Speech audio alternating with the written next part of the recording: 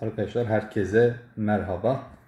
Şimdi bugünün iki tane güzel sorusunu çözelim. Birisi klasik bir soru, birisi de yeni nesil bir soru. Ee, birisi uzunluk, birisi de açı sorusu. Birinci sorumuzla başlayalım. Şimdi burada bir ikizkenar verilmiş. Buraya ben alfa, buraya da alfa dedim. DAC'ye beta dersem ADC 2 beta oluyor. Şimdi burada alfa artı 2 beta'nın 180 olduğunu görüyorum. O zaman A açısını uzattığım zaman alfa betası yanındaysa o zaman 180 olması için buranın da beta olması gerekiyor.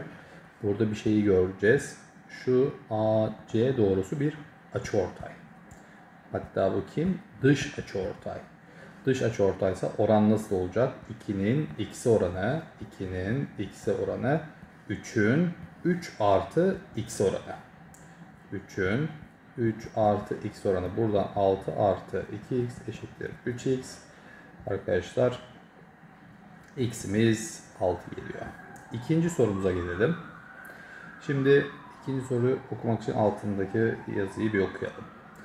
Boyları farklı doğrusal 3 direğin uçlarına AK, CM e, direkleri 50 derece 60 derece veriliyor diyor. AB, BC'leri, BC telleri geriliyor diyor. Daha sonra DN e, direğini koyarak diyor BDDC olacak şekilde ayarladık diyor. ABD nedir diyor. ABD şu açı istiyor arkadaşlar. O zaman şöyle yapalım. Sorumuzu yakınlaştıralım.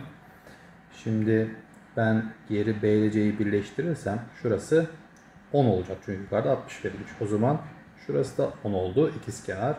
Burası 60 ise burası 120 olacak U kuralından. 120. E şurası U kuralından 130 oldu.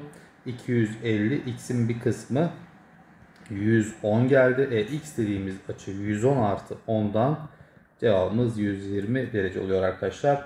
Kendinize iyi bakın. Hoşçakalın.